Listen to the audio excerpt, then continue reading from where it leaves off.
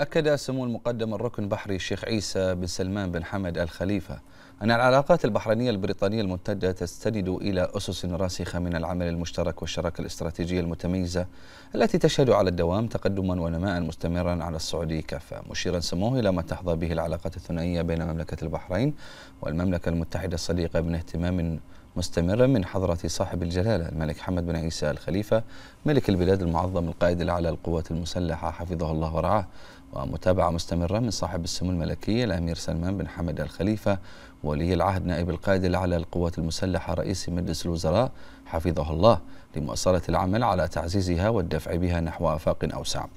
جاء ذلك لدى لقاء سموه في قصر الرفاع سعادة السيد أليستر لونغ سفير المملكة المتحدة لدى مملكة البحرين والسيد مارك أندرسون